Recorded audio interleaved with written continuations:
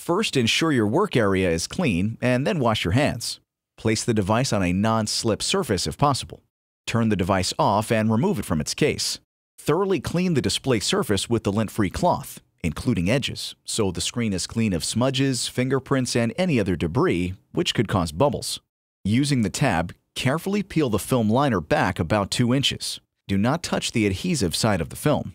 Align the film on your device using the pre-cut holes to guide placement. If the film does not have pre-cut holes, use the edge and two adjacent corners to guide placement. Then use the enclosed applicator with the cloth wrapped around the straight edge to apply the film onto the display. Slowly push the film down onto the display, working from one side of the device to the other across the screen while slowly pulling back the liner. If you see bubbles appear, pull back the film just past the bubble, then begin applying the film forward again. If needed, clean the film once applied. For more tips, visit 3mscreens.com/tips.